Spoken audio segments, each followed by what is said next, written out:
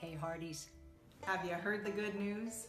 When Calls the Heart has officially been picked up for a season six. Yay! Yeah! It's your support that keeps bringing us back for more. And we couldn't be more grateful.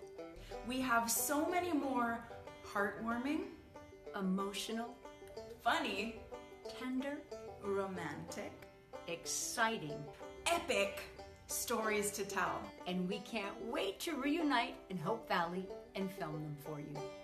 We hope you enjoy the rest of season five. Abigail And Elizabeth.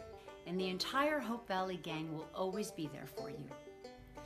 So, from the bottom of our hearts, thank you, Thank you. thank you.